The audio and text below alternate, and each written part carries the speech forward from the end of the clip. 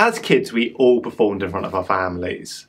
Dance routines, dreadful observational comedies, and sometimes impersonations. Our short comedy film, Blabbermouth, pokes fun at this tradition. Eight-year-old Simon wants to buy a bike. He needs to raise the money for it, so to do that, he is going to do impersonations with his family. Already the family are a bit despondent to this. Last year, Simon performs the burping alphabet to quite mixed reviews, but this year he has an ace up his sleeve.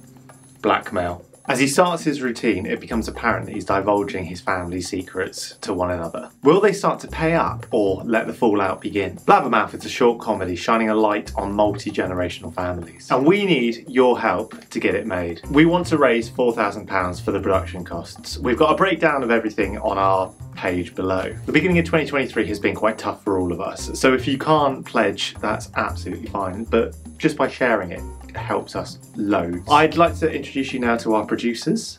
Hello there, lovely people. My name is Chloe Martin. I'm one of the producers for Blabbermouth. Yes, hello, thank you Jamie and Chloe. I make up the third part of the Blabbermouth team. My name is Stephanie Hazel and I'm producing this film and uh, this is going to be such a fun family comedy. We just really hope it brightens up anyone's day who watches it and we hope our page has done that for you already. Thank you so much for any support you're able to give us to make this film.